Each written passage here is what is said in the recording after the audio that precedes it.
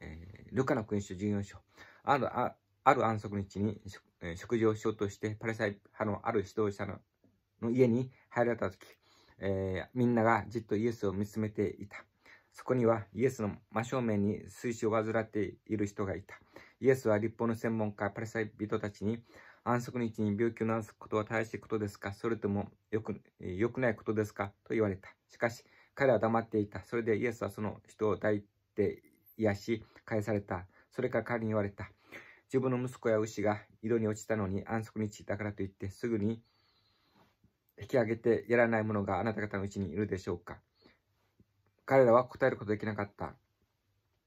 招かれた人々が上手に選んでいる様子に気づいておられたイエスは彼に例えを話された。婚礼の披露宴に招かれた時は上手に座っていけません。あなたより身分の高い人が招招かれているかもしれないし、あなたはその人を招いた人が来て、この席に、この人に席を譲ってくださいとあなたに言うなら、その時、あなたは恥をかいて真っ先につかなければならないならないでしょう。えー、招かれる、招かれ、招かれるようなことがあって、言ったなら真っ先につけなさい。そうしたら、あなたを招いた人が来て、どうぞもっと定石にお進みくださいと言うでしょう。その時、漫才の中で面目を施す、施す、施すことになります。なぜなら、誰でも自分を高くする者は低くされ、自分を低くする者は高くされるされるからです。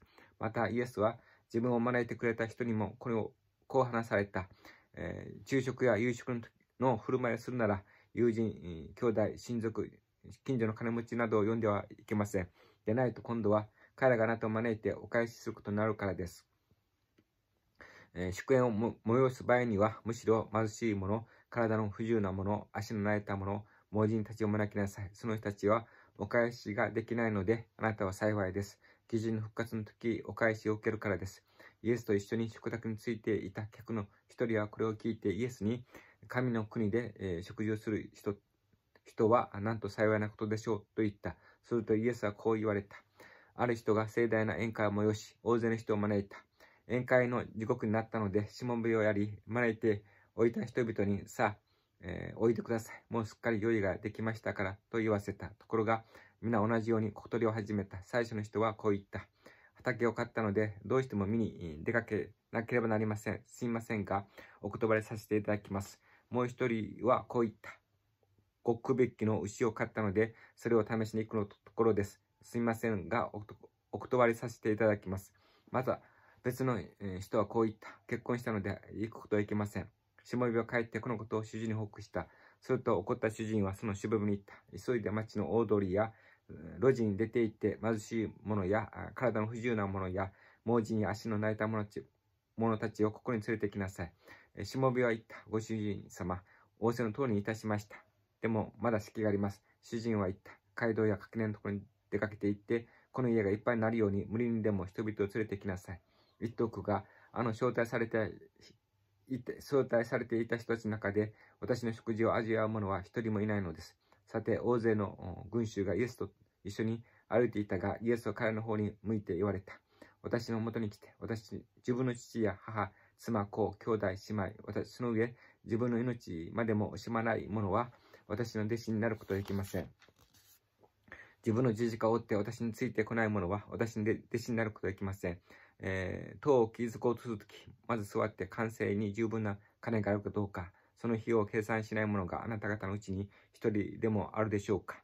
基礎を築いただけで完成できなかった、あできなかったら見て、見ていた人たちはみんな彼をあざ笑って、この人は立て始めようとしたものの完成できなかったと言うでしょう。また、どんな王でも他の王と戦いを交えようとするとき、2万人を引き連れて向かってくる敵を1万人で迎え撃つことができるかどうかをまず座って考えずにいられましょうか。もしも見込みがなければ敵がまだ遠くに離れている間に死者を送って講和を求めるでしょう。そういうわけであなた方は誰でも自分の財産全部を捨てないでは私の弟子になることはできません。ですから、塩は良いものですが、もしその塩が塩気をなくしたら何によってそれそれに味を味をつけるのでしょうか。